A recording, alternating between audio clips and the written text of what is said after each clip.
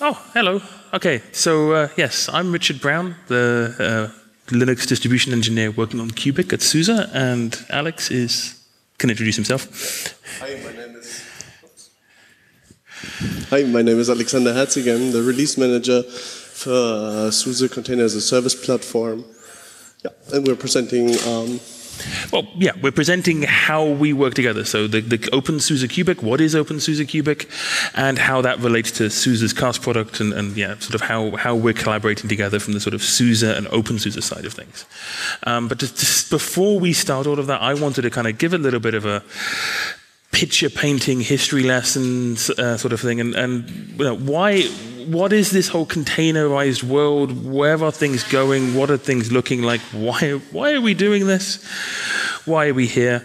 Um, and, and, you know, lately I, have I've been getting more and more into retro computing and thinking actually you know, about my first computer, which was a Commodore 64. And, you know, and back then, you know, a computer was, was completely disconnected from the world, sitting in your home, plugging into a TV, and, you know, you're just happily hacking away on this one disconnected device. Um, but, you know, if you think of the world today, of the computing you're actually using in your hand, end user computing, you know, everything, you know, you've got this massive sort of plurality of different devices, you know, smartwatches, phones, our computers on the desk, our computers on our laptops, our mobile stuff. And, and everything here is all interconnected in some way, um, you know, probably talking to some server somewhere in some data center, maybe more than one server, actually more than three servers. In fact, so many servers that in the end we just stop talking about servers and start calling it a cloud. But you know, it's you know, it's still ultimately a whole bunch of servers. And this fact of computing, you know, the, now sort of the general consumption point of computing is some is really, you know, you have some end user device, and really a lot of the work is being done by some other thing in some back end somewhere, means the world is actually a very, very different place. And everything is way more interconnected. And that means everything is way more complicated. You know, and that you see that not just reflected in sort of the very sort of tangible sort of network servers, racks and clouds and that kind of thing, but even down to our software. The software we're writing these days more and more has a million different modules talking to a million different things.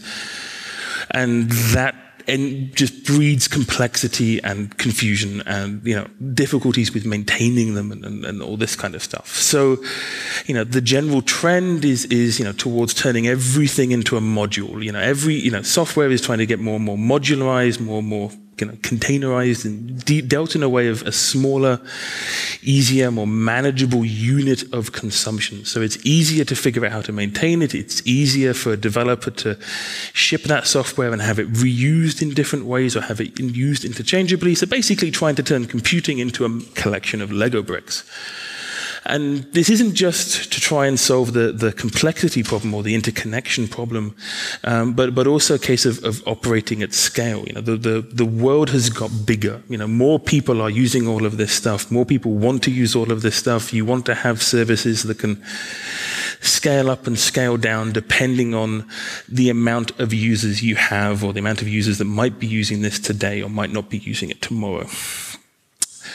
And when you then start thinking about our old computers, our Commodore 64s, our, our, serv- our personal server sitting in a rack somewhere, we used to treat our servers like they were pets. We would give them a name. You know, my servers were all named after Jedi Knights from Star Wars, um, Star Wars films. You know, and we lovingly look after them and we patch them carefully and we, we micromanage all of the configuration. But that doesn't work when you're doing all of this stuff at that kind of scale. When you have so many servers that, you know, you don't have enough Jedi Knights left to name them all. Um, and you can't SSH into each one and individually figure out, you know, how you're going to configure that etc file on that machine. You don't want to treat your servers like pets anymore. You don't want to treat your machines like pets anymore. You want to, to look at it much more like cattle. You know, just number them, put a tag on them, use them. You know, if they end up causing you problems, you know, kill them and eat them, um, and you know, just move on and, and have this constant sort of farm of computers doing your work for you so you can move faster, so you can use this new software faster and faster, and, and, and so you can deal with this world that we're now in. Not just from a community perspective, which I'll be talking about more lately, but everything I just talked about here applies equally true in the business world. You know, SUSE's business, SUSE's business customers are trying to move in this world, wanting to use, you know, use technology faster and yeah, at higher scale, at higher pace of change. And on that, and therefore, you know, the case becomes, you know, how, you know, how does SUSE as a corporate company have a platform that kind of, yeah, addresses these concerns? And this is why I hand over to Alex to talk about uh, CaaSP. So, thank you. There you go. Uh, let me check. Does it work that way? Down. Down. The, one more. No. Down. Down. There we go. Here we go. Sorry. Okay. Um, what I brought um, to this speech is um, I brought down SUSE CaaS platform um, and divided it into layers. Um, I will go through them now one by one um, and yeah, just introduce you which layers we have here so you get a better understanding of what um, CaaSP platform is looking like, but this also applies for Kubic um, with some other namings here and there, obviously. Um, so the first thing we have here is we have an infra infrastructure layer. Um, so even the cloud has some kind of infrastructure that needs to run on. So SUSE CaaS platform is capable of uh, running on physical servers. So if you have some bare metal in your in your storage, um, you can get it out and uh, install it plain there. You can also run it on your desktop machines if they are powerful enough. Um, or also what, what, a, what, a, what a decent idea is if you have some um, small factor PCs which you can easily or conveniently stack on your, uh, on your desktop and you can run a, a physical cluster on your desktop if you have some small machines. Um, Raspberry Pi is not yet enabled, but this would also be a, another option once we start supporting um, the ARM architecture. Then, of course, um, we support at CaaSP uh, a couple of hypervisors. So um, we have VMware images out there. Um, we have images for Hyper-V, um, also for KVM and Xen. I just realized the clouds are broken. Yeah, but yeah. The cloud's broken? VMware, OpenStack, and OpenStack. AWS. Exactly. So we're running the classical hypervisors. We are running um, on OpenStack. So if you have an OpenStack instance, you can scale out. And we do a lot of testing also on OpenStack because it's pretty convenient. Um, then there is, um, we're supporting um, public clouds like AWS um, and in future also Microsoft Azure and Google Cloud Engine. So you will find our images there soon. Um, yeah, and then there's there used to be an operating system, um, which in our case is uh, SUSE's Micro OS. It's a on purpose or for purpose built um, SUSE Linux Enterprise based at the moment SLES 12 SP3 based um, operating system. We call it MicroOS. Don't get confused a bit by the name. It's not called Micro. Does not aim at being small, although we're trying to be small because you're running maybe hundreds of distance. But this um, aims for the name of Microservice OS. So we're microservice oriented here, which is um, one of the use cases for having CaaSP. Yeah. So it can run all of those different modules in all those different containers. Yeah. So having having a bundled operating system in your, uh, in your CaaSP stack means that you're able to install it wherever you want. Um, you can configure it. Um, we have in transactional updates, we have a, we have a talk about, or we heard a talk about already from Ignaz. Um, tomorrow. tomorrow. Oh, it's tomorrow. Sorry, I was on the wrong schedule. Sorry. Um, you will hear more about transactional updates, which is a really neat feature, especially for uh, for cluster computing, because you have um, zero downtime for doing updates um, and transaction updates also um, moves out into the SUSE world, so it is applicable on, on Leap and on Tumbleweed. I talk available. about that more later. Okay. Yeah. yeah. Um, then you're able uh, with um, the operating system um, to debug.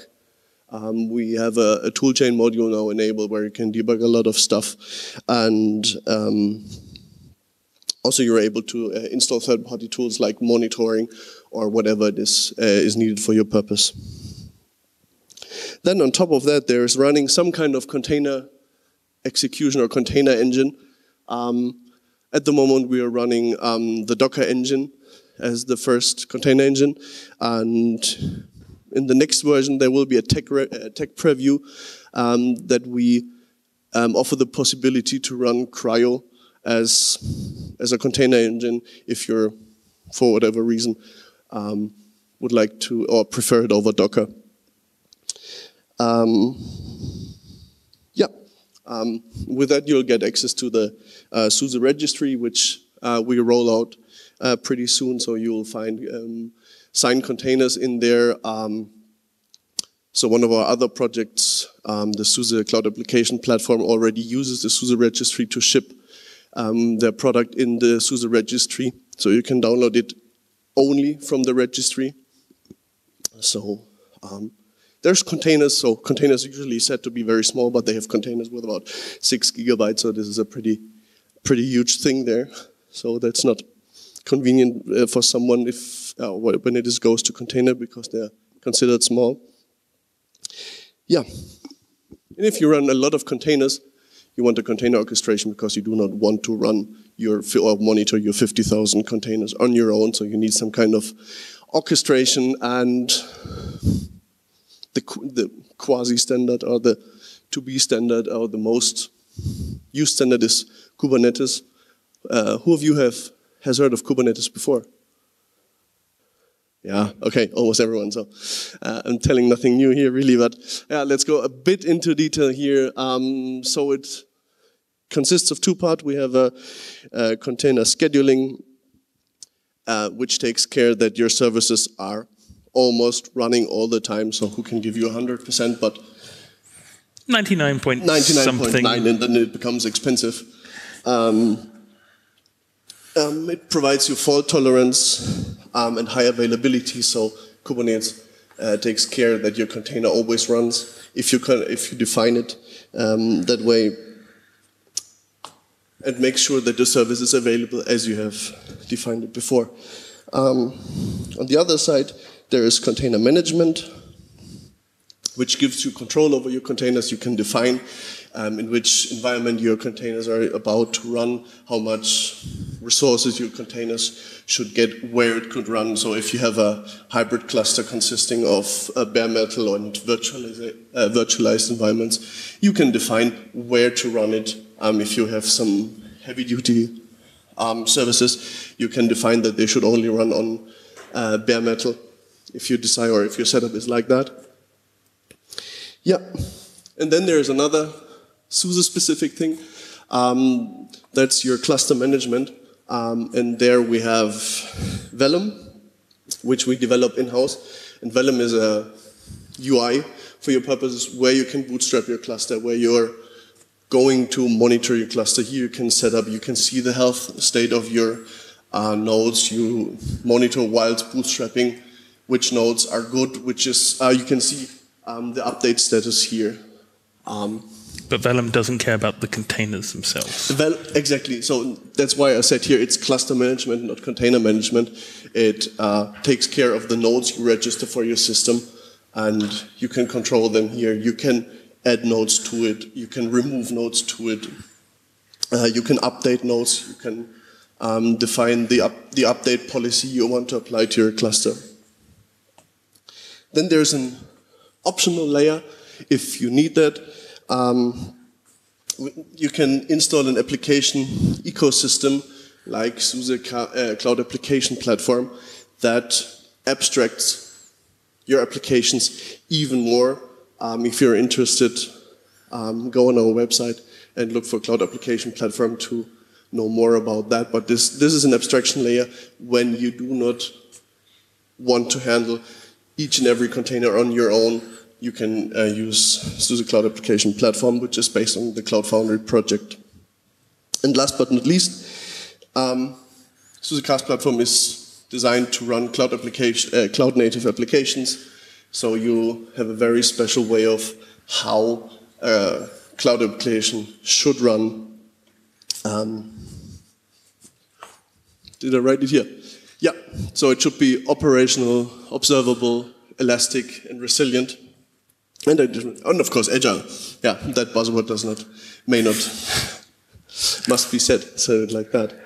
And yeah, with that, back to you, Richard. Okay, thank you. Here you go.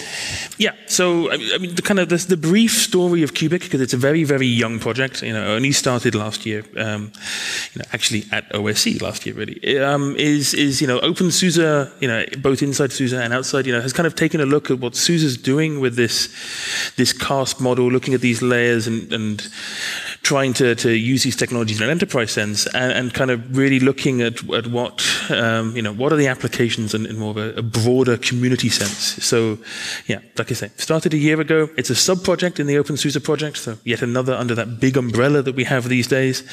And it's focused on all of these different container technologies. You know, the, most of them that you mentioned in the stack there, but also sort of broadening out a little bit as well and we've now become the, the upstream for, for CaaSP uh, and the CaaSP program. So really, I mean, we're kind of like, you know, the, the Martian explorers for this whole container world side of things. Um, it, it's obviously similar, you know, coming from the same basic ideas, but already in a year, you know, things have grown quite different, um, and that's really quite an exciting thing. So, you know, we're independent from CaaSP, like everything in OpenSUSE, independent from SUSE, and we're basing all of the work we're doing inside OpenSUSE Tumbleweed. I'll go into more details about that later. Um, and, you know, more and more we're targeting the latest upstream container technologies. So, uh, for example, you know, we there is Velum, and Velum is, is contributed to as part of, of the Kubic project.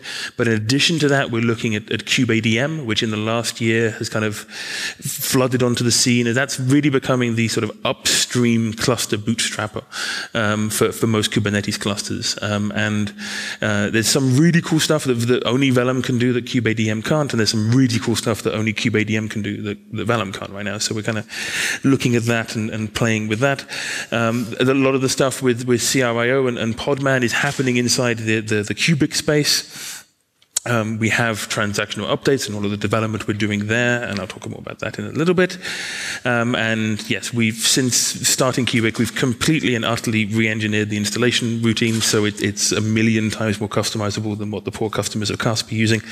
So we can prototype new stuff and play around, and yeah, generally have uh, yeah have a lot more options in there. So in a, in a nutshell, though, you know, what are we really looking at is pretty much anything our community wants to look at in this container space. So, for example, Paul has, has his talk on Sunday in the, the hall next door um, at that time, um, and that's an example of this. Yeah, exactly. There's Paul. He's the one, you know, and, and he's he's been experimenting with some stuff on Kubic. He'll be talk, talking about that. Um, in fact, I don't think you're using Kubernetes at all. So it's like a perfect example of the the kind of crazier, more interesting stuff. Um, yeah, so please come to his talk. I'm going to focus a little bit um, on uh, the transactional update stuff, although Alex already talked quite a fair bit about it. And you know, with all of this, with all of this highly orchestrated broad, you know, having clusters of machines running all of your services, looking after all of this stuff.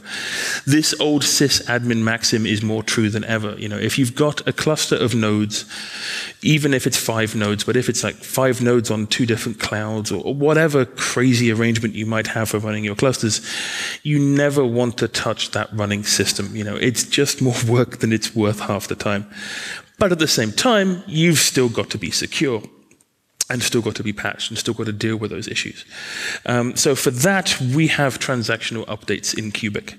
It's an update that is is is totally atomic. It happens in a in a single operation. You know, either it totally applies and the system totally changes to the new version of the operating system, or nothing at all happens. No software is changed. No libraries are changed. Everything is just left exactly as it was. Um, and as part of that, none of those changes happening while the system is actually running. Because you know your services are up, your things are running. You don't want to risk anything. You don't want to swap things around. Um, and doing that properly in a single transaction and with the technologies we're using, um, mean also we also want it to be totally and easily to roll back. So you know you do make a change, it all happens in one easy, swift move, and then when you test it or you then run it and you realize it doesn't quite work the way you wanted to you can throw that update away and immediately get back to running the system exactly how it was before you changed anything. And yeah, so transactional updates were originally designed as part of MicroOS on, on the CaaSP side of things. It's really become like the core feature inside both Kubic and CaaSP. It's the def the, I definitely at the moment think it's the most exciting thing we're working on. And as you saw in the Leap 15 announcement today, this feature is also available as a transactional server mode in Leap 15 and Tumbleweed. So you can have a Leap 15 machine using this as its update mechanism. Just pick the, the uh, in transactional server system role when you're installing it. But I won't go into any more details because Ignaz, who's over there, raise your hand, wave, yep. He's in this room tomorrow going into more detail about that. So you can see how that all works and, and how to use it and have fun with it. So, yeah, with this different view on things with, with OpenSUSE, sorry?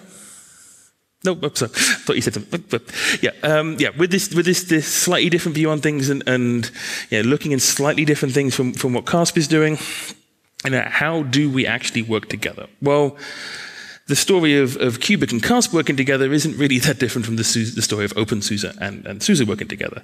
You know, Tumbleweed is the, the, the star SUSE factory. Whatever, you know, if it's SUSE or OpenSUSE, it doesn't matter. We're all building on the same code base you know, and Tumbleweed is there as our nice, stable, always working, always tested, always usable code base.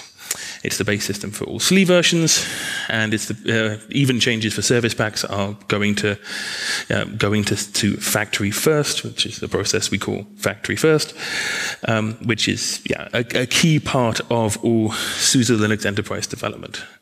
You know, all development now follows the factory first policy. Almost everything ends up complying with that policy.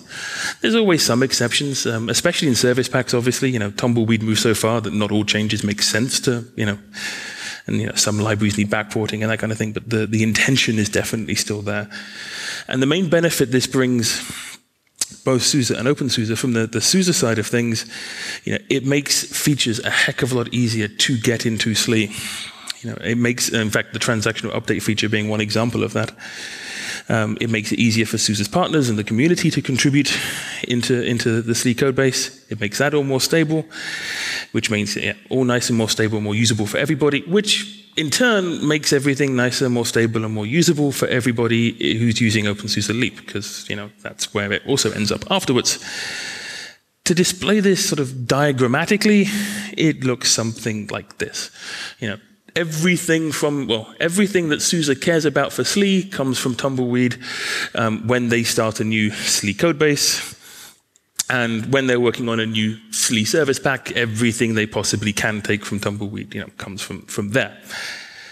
With CaaSP, it's pretty much the same idea. But we have this thing called Kubic.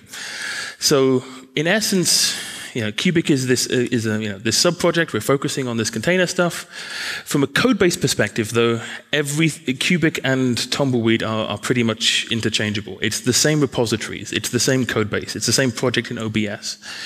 It's a different installation media and it's a different installation routine because you know we're focusing just on this container side of things. So you know it's a, it's really just a, a a derivative distribution um, of Tumbleweed, but all of the code is the same. And to change something in Kubic, you change something in Tumbleweed. Um, in the same kind of, mostly the same kind of sense. Yeah, SUSE CaaSP platform is a derivative of SLE, of, a, of SLE service packs.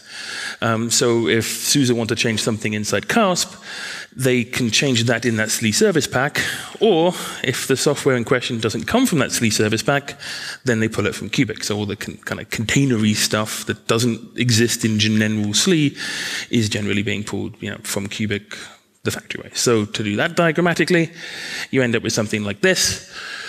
So yeah, Tumbleweed feeds into SLE, SLE feeds into CaaSP, and Tumbleweed and Kubic, yeah, all sharing the same code base, but the Kubic bits that are interesting for, for CaaSP end up in there. Um, so to yeah, kind of put that sort of really a little bit too simply, you know, all OpenSUSE development starts in Tumbleweed, all SLE development starts in Tumbleweed. Um, yeah, SLE is based on Tumbleweed, Kubic is based on Tumbleweed. Um, Tumbleweed kind of the heart of all of this. Um, and yeah, if, if you really want to work with, with CaaSP, you know, you're working with Tumbleweed and SLE is a derivative of, the, of both of those two things together. So if I've interested you enough that you want to start contributing to this and changing what we're doing and having, yeah, uh, seeing what we're doing, we could do with more people testing it.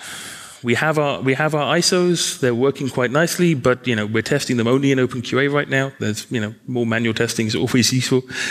Um, so you can just go to the, regular Tumbleweed download page. There is a Kubic option there. You can install it on bare metals, you can install it on VMs. The installation routine, like I say, is nice and changed and, and simplified. So, in fact, it, it, walks you through the, the system roles far, in far more detail than, uh, than another, any other open OpenSUSE distribution does. And when you find bugs, because I'm sure you will, um, you know, you file them in Bugzilla in OpenSUSE Tumbleweed as part of the, the, the, Kubic component, if you think they're Kubic specific. Um, generally speaking, a lot of the bugs you know, are shared between Tumbleweed and Cubic, so if you file a Tumbleweed bug, we'll fix them there too. Obviously, though, in this whole kind of agile, containery, cloudy world, a lot of people don't want to handle messing around with installing installation media. Um, so we are working on VM and cloud images. Um, that is the URL for the OBS project where they are right now. Um, the Devel project is there. In fact, there is a, a factory project for them as well. Um, but we, Kubic, the Kubic team, when we started looking at this, suddenly realized Tumbleweed doesn't have any VM images. And in fact, the Tumbleweed release process doesn't have any way of releasing VM images yet. Um, so that's something we're actively working on with the Tumbleweed team at the moment of figuring out, okay, you know, we can build them now. How do we test them? How do we do them as part of the standard Tumbleweed release process? So when there's a new Tumbleweed snapshot, we're not just publishing a new ISO and a new, new repo, but we also publish a whole bunch of, of uh, VM images for that as well as, as part of the whole thing.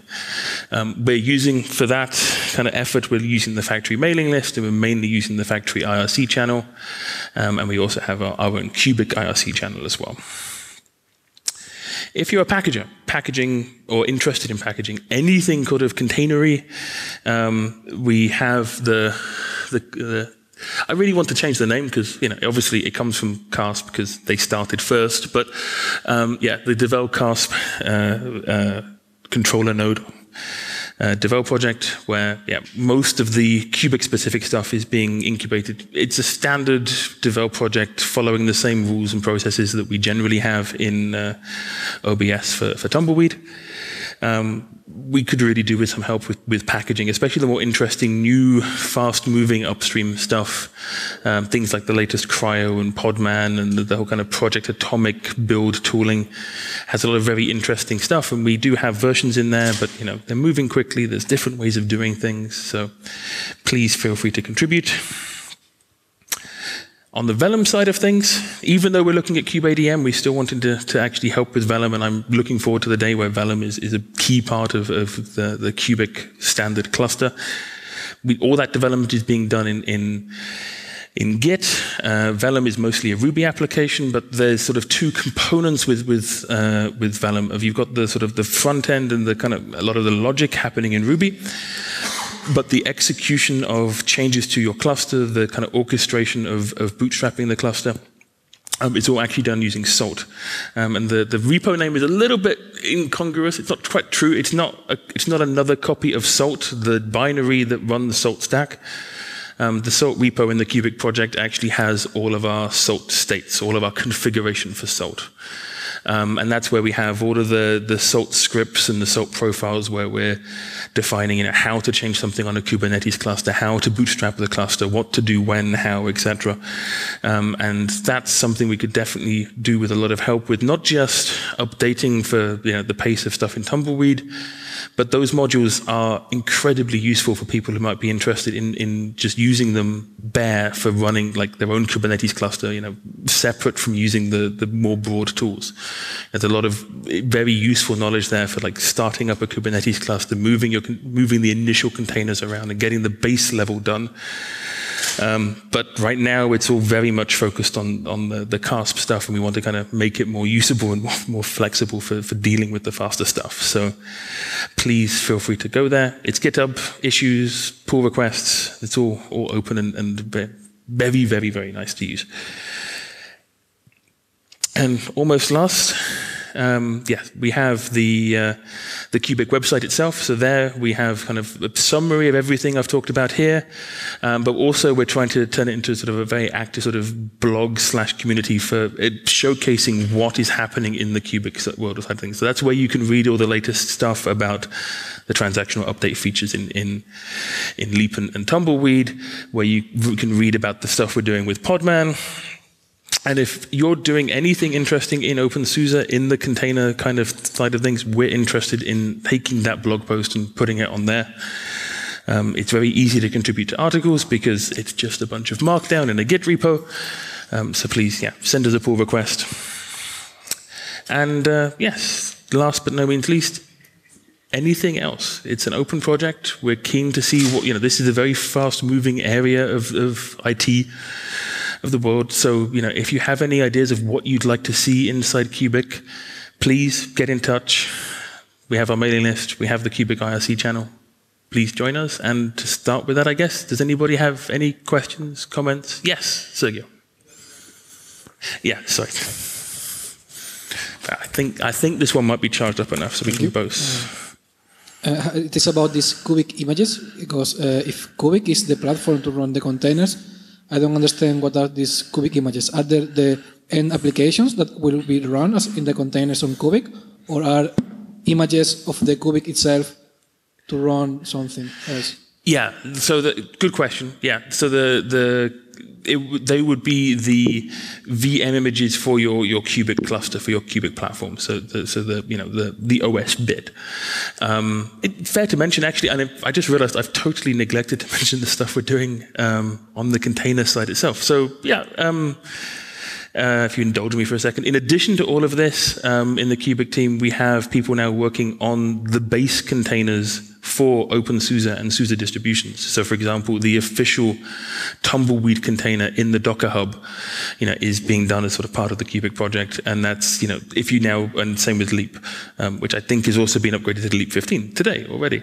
So you can do your Docker pull from the yeah from the hub from that registry and get you know a proper built properly, tested properly, OpenSUSE style, OpenSUSE quality container image. Um, and one thing we're working with, but we're not quite there yet. Um, it's kind of a it's a big collaborative thing. Um, the OBS team have a bunch of features going into the OpenSUSE build service. Um, and there is now a website you can already go to, registry.opensuse.org.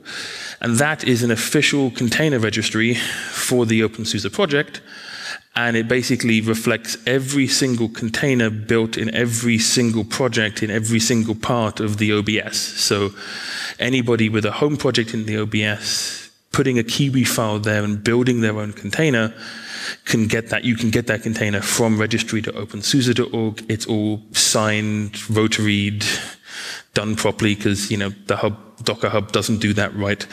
Um, ultimately, long term, that almost certainly will be the official place to get all of the containers for running things like Velum and Kubernetes on a Kubic cluster.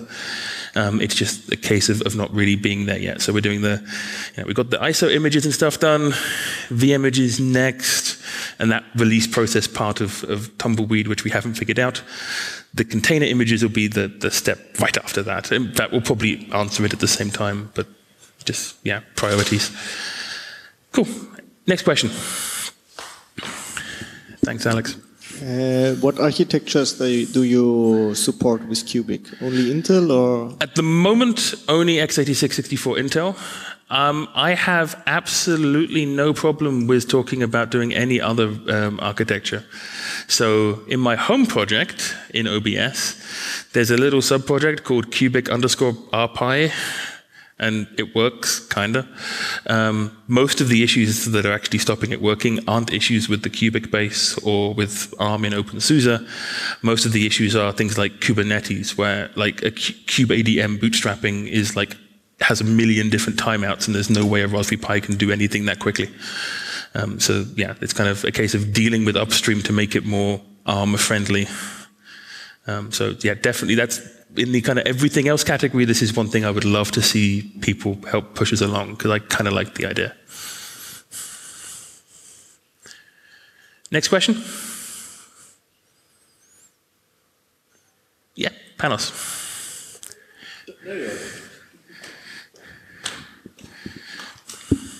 It's not a question, it's just um, a comment that I would like also to highlight what R- Richard said is that Kubic is a new project and basically we can shape it based on the community needs. So just to give you an example that this is true, uh, a couple of uh, months ago, um, I was looking in the rootless containers and what we do there in OpenSUSE. And um, now we have the test in OpenQA, so uh, we're really proud of that because uh, the Kubic might, might, might be only the only distribution out there that makes sure that uh, rootless containers and uh, uh, OCI Open Containers Initiative uh, style of standardized containers are working for us. So there will never be broken there in that case. So if you have any use cases, bring them forth and they can be a reality. Thank you. Cool. If there's nothing else, then uh, thank you very much.